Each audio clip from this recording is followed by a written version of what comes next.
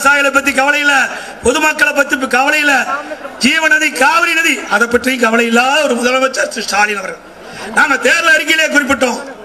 அனைத்து இந்திய அண்ணா திராவிட முன்னேற்ற கழகம் ஆட்சிக்கு வந்த உடனே கோதாவரி காவிரி இணைப்பு திட்டம் நிறைவேற்றப்படும். இன்றைக்கு பிள்ளையார் சொல்லி போட்டுட்டாங்க. நாம அறிவிச்ச திட்டம் என்பதற்காக இந்த மக்கள் விரோத ஆட்சி விடிய அரசு கவனம் செலுத்தவில்லை.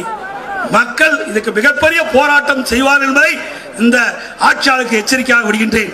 அதே போல நீண்ட நெடுநாள திட்டம் காவிரி குண்டாறு இணைப்பு திட்டம் அதையும் அண்ணா திமுக அரசில் தான் நிறைவேற்றப்பட்டது. இதையெல்லாம் ஒரு சாதனை. இன்னைக்கு நான் ஒரு விவசாயி என்ற காரணத்தினாலே விவசாய பணி மக்களுக்கு என்ன தேவை என்பதை உணர்ந்து அவ்வப்போது இந்த திட்டத்தை எல்லாம் அறிவித்து அதன் மூலமா நன்மை கிடைக்க செய்து கொண்டிருக்கின்றோம். அதோட தடுப்பணை எங்கெங்கெல்லாம் வேணுமோ அங்கெல்லாம் தடுப்பணை கட்டுவதற்கு உத்தரவு போட்டு இன்றைக்கு நஞ்ச புகழூர்ல கரூருக்கு பக்கத்து